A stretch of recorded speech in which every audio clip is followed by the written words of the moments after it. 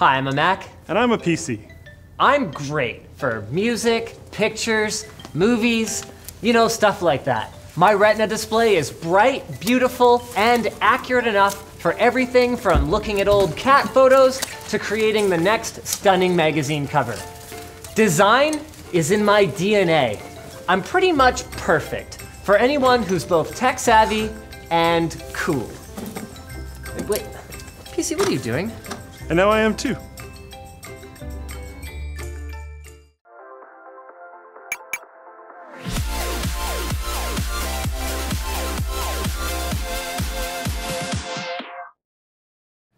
TunnelBear is the simple VPN app that makes it easy to browse privately and enjoy a more open internet. Try TunnelBear for free at the link below. Okay, so that wasn't an ad. This video isn't sponsored by Microsoft.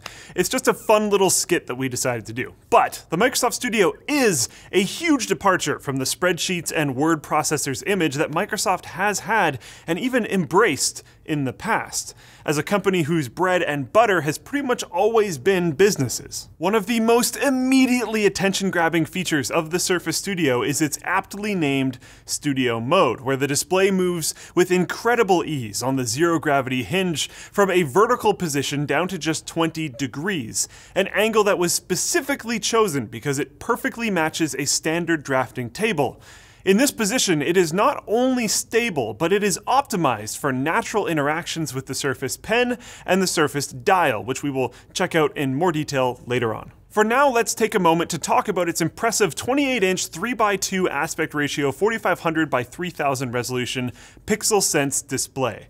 This aspect ratio will naturally give you a lot more actual surface area than a similar widescreen monitor in the more cinematic 16 by 9 aspect ratio that has become standard on modern devices. But that's not its only interesting feature. It has 13.5 million pixels at a density of 192 ppi, which may not seem earth-shattering at first, but consider this. Windows, since the 1980s, has been written for 96 dpi, meaning that at 192, you can run Windows 10 at exactly 200% scaling and avoid the text dithering and visual artifacts that show up at other scaling percentages or with other DPI counts in Windows. With the Surface Studio at 200% scaling, you get the great image clarity of the higher resolution, but the usability of larger icons, and for those of you still printing documents, 12 point font on the display is identical to 12 point font on a printed page. And if you hold up a piece of paper to the screen, one inch on the paper is one inch on the screen just like the old days. And that's not the only thing that makes it look amazing. Each and every display is color calibrated at the factory to guarantee color accuracy and precision, which are not the same thing, by the way. It's the thinnest LCD monitor ever built at this size, with color profiles of sRGB, DCI P3, and Vivid. And they even threw in 10 point multi-touch for those who, after seeing it for the first time, want to get the hands-on experience. Moving on to the base of the Surface Studio's display, we have the entire computer actually.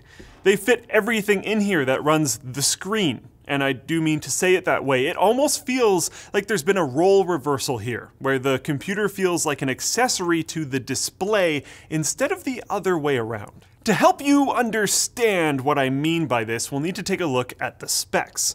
Our unit comes equipped with a mobile Intel Core i7-6820HQ processor and a mobile graphics card, last generation's NVIDIA GTX 980M, along with 32 gigs of DDR4 RAM and a 2 terabyte hybrid drive rocking 128 gigs of solid state storage at $4,200. This is unsurprisingly the highest end model, but don't imagine that the base version is particularly affordable either. It costs $3,000 and drops down to a Core i5, 8 gigs of RAM, an anemic GTX 965M, and half the storage. And no, it's not user upgradable. iFixit gave it a 5 out of 10 due to its soldered RAM, CPU, and GPU. And you can't buy the screen by itself, and you can't even use the screen once the hardware becomes outdated by just plugging in another computer. There are no video inputs, just a singular video output in the form of mini DisplayPort on the back. Also at the back is an Ethernet jack, a full-sized SD card reader, four Type A USB 3 5 gigabit ports, and a headphone and microphone jack. That's it. So pretty bare bones for a desktop computer, but there is actually a rather cool grip release AC power cable that won't give way to random tugs. It's actually kind of interesting. Back to the hardware. Let's talk about performance. The Surface Studio is using not just mobile technology, but last gen mobile tech from both Intel and Nvidia, which means that while using it is smooth in the vast majority of still art applications like Adobe Photoshop or Microsoft's own Fresh Paint, and of course you can edit videos on it, its limited expandability and unexceptional specs mean it doesn't feel like a high end video editing workstation, which was really disappointing to our editors here who were amped about using the dial for timeline scrubbing and other cool stuff on the surface and whatever it is those guys do all day. And then that excitement was kind of lost. Microsoft's response to this criticism was that they were limited due to their design window making the Surface Studio work with these new technologies would have involved re engineering the thermal design. But I can think of other solutions. Why not allow people to buy the screen and run their own more powerful computers like Wacom does with their Cintiq line of products, which I guess actually leads us into that comparison. Can the Surface Studio penetrate Wacom's stranglehold on the professional digital writing surface market? Well, it holds up fine. The screen looks great and the huge surface area is awesome, but artists, including our neighbor Steve, who's pretty great at things, have issues with the Surface Pen not being as accurate in terms of pressure when compared to offerings from the other side. In the box, you get a Surface Studio, a Surface Pen, a Surface keyboard, a Surface mouse, a fancy Surface power cord, and that's it. No Surface dial. But before you go back to Microsoft in a huff and purchase the dial that you assumed was included in the box, considering how prominently they featured it in like all of its advertising, you might want to keep a few things in mind. One, it works with all Bluetooth equipped Windows 10 PCs, which is nice. It's not just a Surface device. Two, there is a relatively simple Windows Wheel API for application developers to integrate its functionality with their programs. But outside of developers, developers, developers, it is not user programmable in the same way that something like a Logitech or Razer keyboard would be. Sorry, Taran, no fancy custom macros, at least not yet.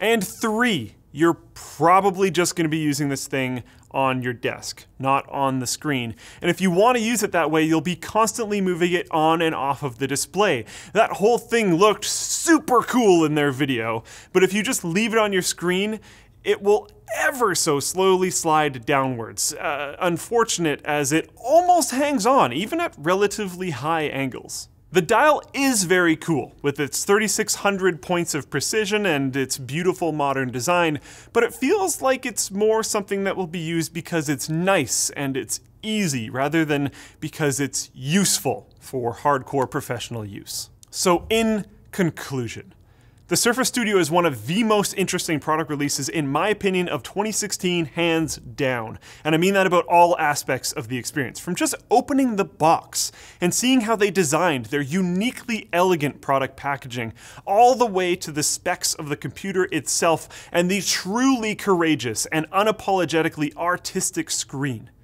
This is a new direction for Microsoft, and one that I'm excited to see them continue to explore.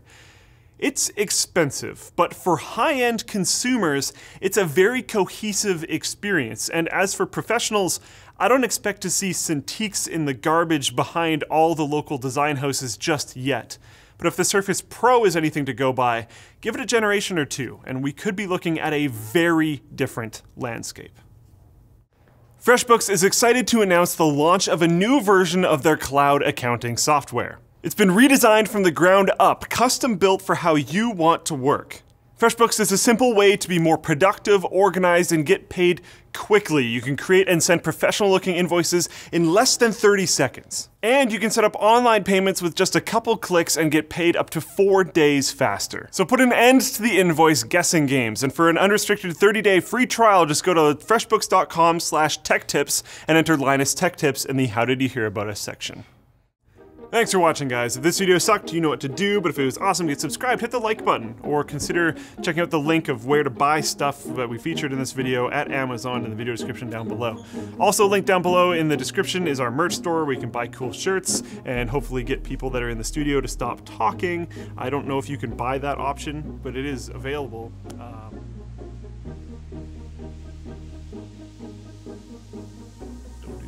What you can do is watch this video, which is